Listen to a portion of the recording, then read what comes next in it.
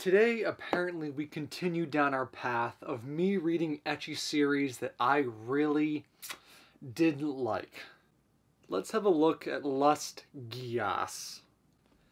Now, full stop right out the gate, just to save what I think will be a large portion of you. If you have zero interest in NTR or hate NTR, fast pass, fast pass, don't turn back. You don't need to worry about this series. I will say what's a little bit frustrating about at least that little tidbit of information is that there's nowhere in the series um, really beginning or first volume that indicates that that's where the story is going. Um, it really kind of caught me out of left field, like how heavy NTR it is. Like it's not just a little bit. Uh, once you get into volume two, you go, oh, well, that's a little shitty if you aren't into that kind of thing. And once you hit volume three, you're like, oh, this is so. This is just what the series is. It's the main theme. Got it. But the NTR angle isn't the only massive issues that this story has. Because frankly, the characters act in ways that are really nonsensical to the base plot. Because I think the story really reads more like a fantasy of the author itself rather than like a story the author is trying to tell. And what I mean by that is, is that the story, uh, it really has no cohesion. It doesn't make sense in a lot of different ways. It just kind of reads as, you know, someone's fantasy on what they want to happen to themselves, but not a fantasy that's well thought out to make like an actual good and compelling story.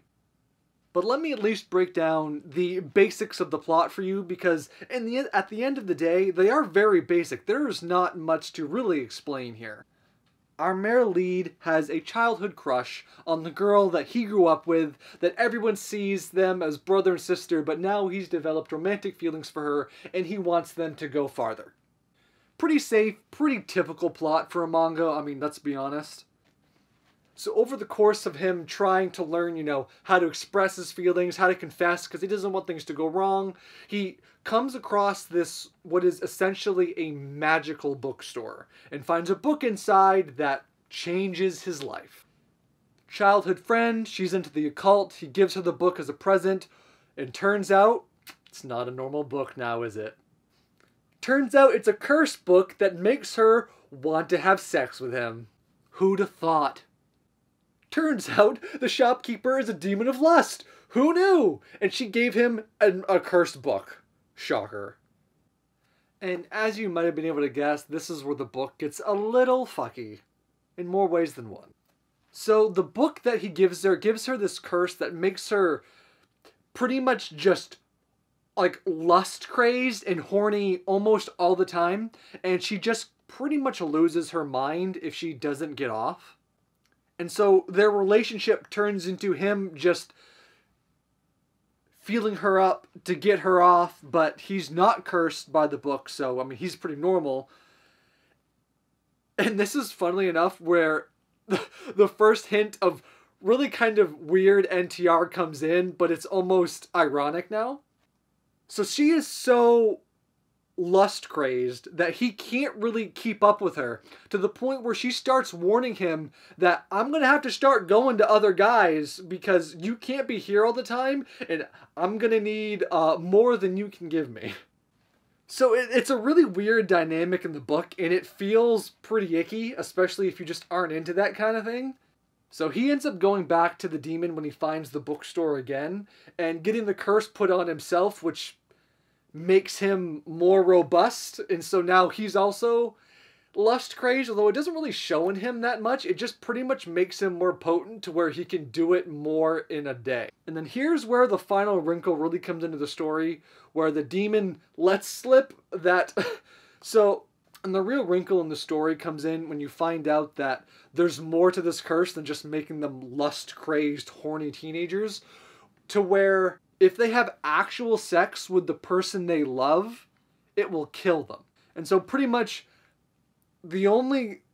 So, I've read three volumes and jumping ahead a little bit. The entire story is him basically just fingering them and them giving him blowjobs. I mean, that's that's. I'm not joking when I say that's been the entire first three volumes of the book. And to keep the description of what else happens in the next three books pretty short, it's pretty simple. More women, more girls at the school, by one way or another, get a hold of the book and also end up pretty much being cursed with this lust effect. And they're all after him as a side effect. But and this is where I thought the story was going to go. I thought it was going to be like the participants or the cursed getting together and more of it being like a group ecchi kind of situation going on.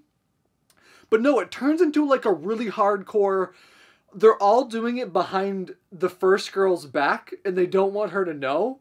And so but they're like purposefully cucking her um because they want to and it gets them off more, but not because of the curse, but just because of their personalities. Not to mention that the third girl is one of the teachers at the school. So deal with that moral issue uh, however you decide to. Usually I like, I'm always, the teacher is always the character I gravitate towards because I always find the teacher to be the hottest character. But here again, when it first starts out, I thought she was actually going to be like a foil to the second girl who's like full NTR mode, like full, I want to cock your girlfriend and it's just gonna make me real slick when I do it. No, they just end up turning the teacher into the same thing. Um, she wants to cuck the second girl and, and wants the second girl to know it. Uh, instead of the second girl who wants the first girl who wants to cuck the first girl but doesn't want her to know it. So that's like the basic plot of the story, but the problem is all of the characters are so shallow. And I don't mean that as in like um and I don't mean that morally. I mean that as in there's nothing to them. Like they're just these bland, faceless like like the only thing that's different about them is that they look different. Like the story just turns them into archetypes about what seems like the author likes. Like you have the childhood friend who lives next door. Then you have, you know, the more studious, you know, by the rules girl. Then you have the mature, hot-looking teacher. And that's all they are. There is nothing more to them personality-wise. That is it. That is all they are. They are they are cum guzzling archetypes. That's basically all there is to them. And the guy is the blandest, just most boring, uninteresting character you can ever imagine in a series like this. Like there's nothing to him. And he's like the only character where you you expect like some kind of moral uh struggle because the book is like the whole entire first volume is set up on the fact that he loves um his childhood friend. And they get caught up in this, well, shit, I mean, we're together now, but this isn't exactly how I envisioned this, so now we have to figure out how to break the curse. But he really ends up having no real issue just um, getting sucked on by all these different girls and just not telling her about it. Because I've got to say, like, this story, like, you read it and you go, there are definitely things that could have made this story, like, enjoyable or work. Like, for my money, like I said before, I thought the story was going to be about the characters um, like individually getting cursed, but then coming together to try and figure out like how to break it, or if they and and they'd come together as like a group. And now there might be jealousy issues, um, there might be drama there, but that would have made for a lot more um, compelling narrative. Like you could have them all be aware of each other and getting together, um, but then you could have had you know group stuff happen. You you could have had like moral dilemmas like when they're one on one but still had it be like this group dynamic where they're like look this is what's happened to you. This is what's happened to all of us. What are we going to do about it?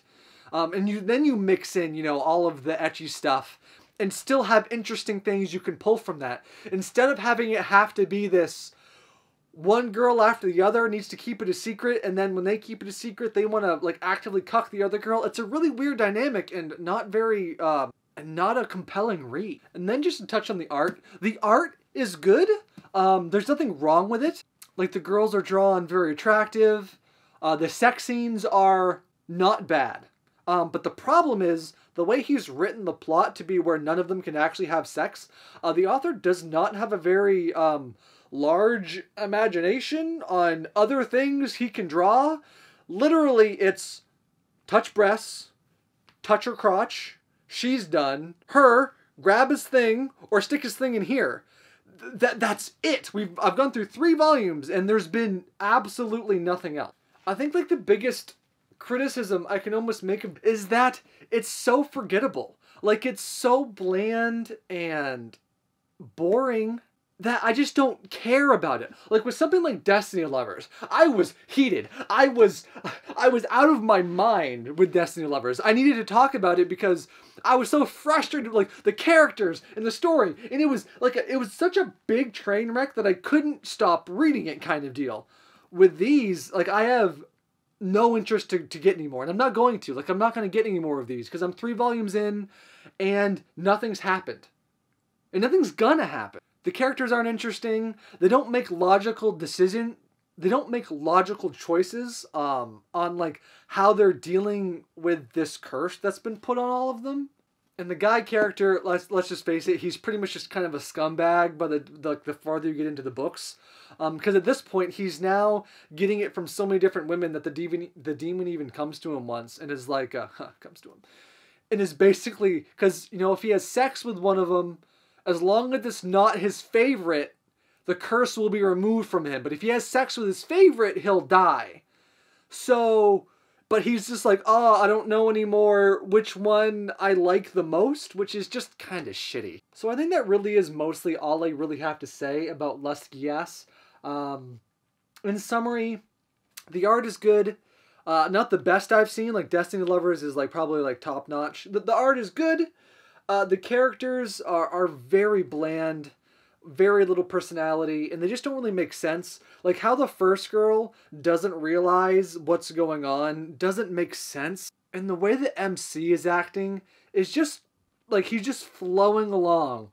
Like wherever the plot tells him is going to happen next, he just fills that void because that's what he's there for. This is one I just can't really even really recommend on a lot of different levels. Like it's not like something like Destiny Lovers was such a disaster and such a train wreck. It's almost fun to tell someone, "Hey, read this. You will not believe what happens." Like it's like it's not like a movie that's so bad it's good.